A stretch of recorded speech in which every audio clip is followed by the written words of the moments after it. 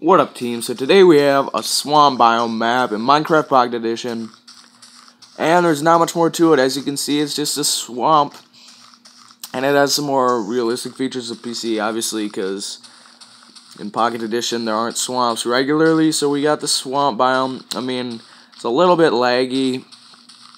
I'm not really sure why, but just because it's ported from PC or whatever, or it's just, actually, I don't know if it's ported or I think the guy just made it. Yeah, the guy just made it, but either way, it's a swamp map. I, I'm not sure. I don't think it has a witch's hut. But in the future, that'd be super cool if they added that or something. I don't know.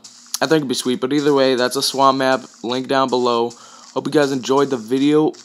And I'll see you later. Peace out.